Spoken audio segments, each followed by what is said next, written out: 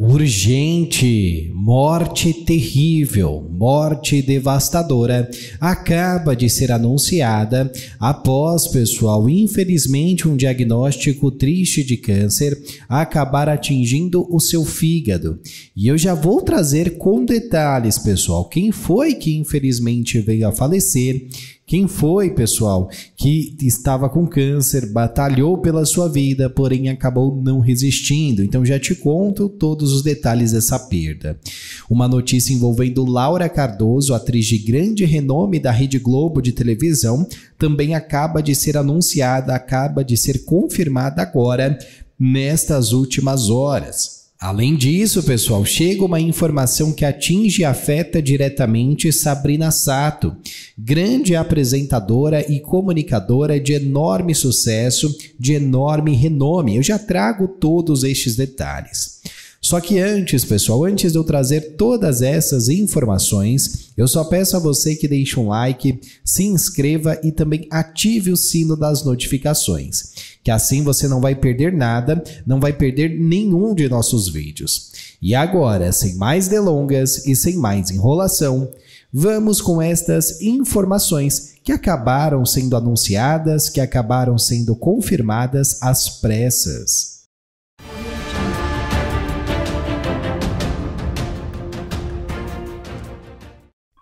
Uma notícia acaba de ser anunciada, acaba de ser confirmada agora nestas últimas horas, aonde atinge, aonde afeta diretamente a nossa querida, pessoal, atriz de sucesso, a nossa querida apresentadora, na verdade, de sucesso, Sabrina Sato.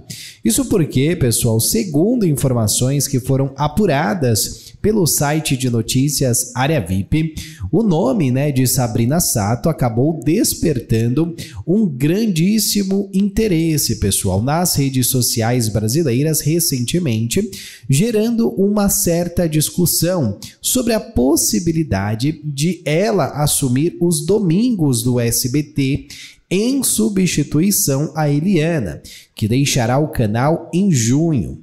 Essa especulação surgiu após informações compartilhadas pelo colunista Alessandro Lobianco, do programa A Tarde é Sua. Procuramos, pessoal, o site de notícias Área VIP, na verdade, procurou a equipe né, de Sabrina Sato para que pudesse esclarecer os rumores. E eles afirmaram que a apresentadora acabou não sendo sondada pelo SBT e continua contratada pela Rede Globo de televisão, onde ela se encontra bastante contente com seu trabalho desenvolvido lá. A equipe ressaltou ainda que Sabrina permanece no Grupo Globo, negando qualquer sondagem por parte da emissora de Silvio Santos.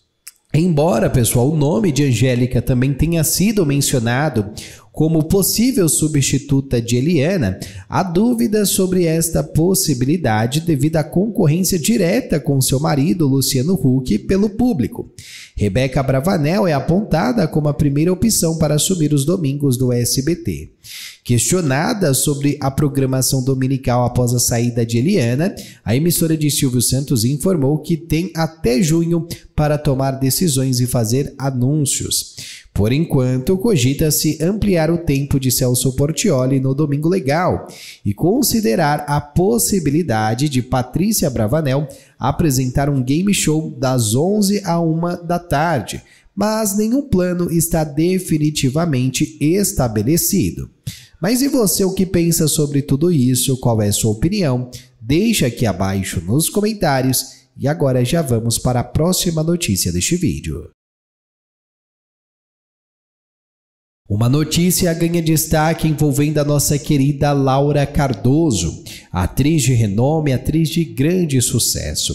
Isso porque, pessoal, segundo as informações que foram divulgadas, que foram apuradas né, pelo site é, de notícias Área VIP, Laura Cardoso é uma das icônicas figuras da televisão brasileira e é a próxima homenageada no projeto Tributo. O episódio agendado para esta última sexta-feira, 26, que foi ao ar logo depois do Globo Repórter, né? Que acabou recontando a história desta querida, né? Conforme é, ela, né, sempre demonstrou, pessoal, um talento verdadeiramente único. Hoje, aos 96 anos, a atriz exibe uma, vitali uma vitalidade invejável para o trabalho, expressando seu amor pela representação. Ela disse o seguinte: Eu amo atuar. Coloque-me no palco, na televisão, no rádio, no circo, se quiser me ver. Gosto de trabalhar, de representar, de dizer o texto. Sou uma operária. Se preciso levantar às três ou quatro da manhã para gravar, estou lá, declarou a veterana. Elogiada por sua disciplina em cena e por capacidade de se despir de qualquer vaidade em prol da arte, Laura Cardoso serve de inspiração para muitos colegas de trabalho. Orgulha-se de nunca ter recusado um papel, independentemente de ser para interpretar personagens de diferentes características. Determinação é uma característica chave em sua longa carreira. Nascida em 1927 em São Paulo, no bairro do Bexiga, Laura trocou de nome para Laura Cardoso por achar mais sonoro. As novelas transmitidas pela rádio despertaram sua vocação nos anos de 1940. Após fugir de casa para fazer um teste em uma rádio e ser aprovada, ela acabou iniciando a carreira notável, superando preconceitos em uma época em que os artistas eram marginalizados. Laura Cardoso logo migrou para a Tupi, a primeira rede de televisão do Brasil. Após a extinção desta, nos anos de 1980, foi contratada pela TV Globo.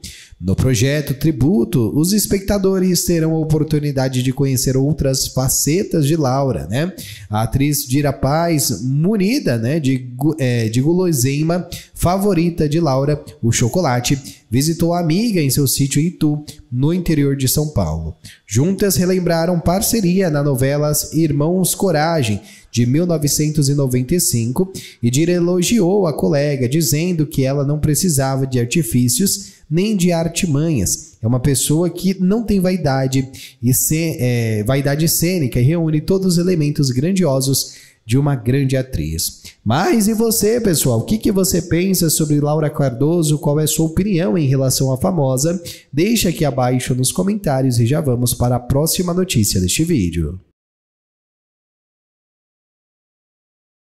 Agora chega uma informação, chega uma notícia às pressas, aonde acabou de ser anunciada, aonde acabou de ser confirmada nestas últimas horas. Segundo informou o site CBN Recife, veio a falecer, veio a morrer nesta última madrugada de sábado, aos 76 anos, depois de enfrentar um câncer no seu fígado, o grande e querido Cleo Nicés. Ele era bastante respeitado no mundo da comunicação.